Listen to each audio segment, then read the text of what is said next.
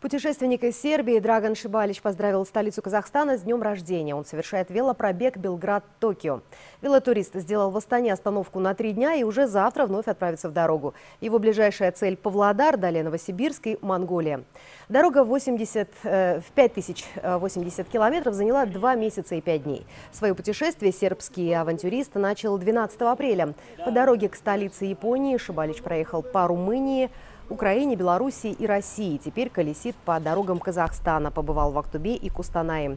Драгон работает электриком, а велотуризм – его хобби. Это не первое турне 37-летнего путешественника. В прошлом году он, следуя за сербским баскетбольным клубом «Партизан», совершил тур Кралева-Москва-Краснодар-Стамбул. Бюджет у путешественника скромный, около 15 долларов в день. А в основном это деньги на питание. Ночует в палатке, которая всегда с собой, или устанавливается на ночлег у добрых людей, которых, как отмечает Драгон, в Казахстане очень много. Это он попытался объяснить нашему корреспонденту на русском языке. Казахстан народ э, хорошо, люди э, гостопримливі.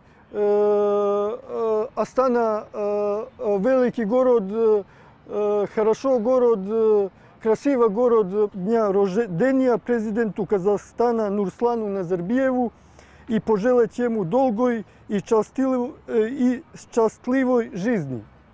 Сербия и сербский народ любят Казахстан – і я продовжу свій путь на велосипеді далі по миру э, во славу Казахстана і Сербія э, з праздником вашого города.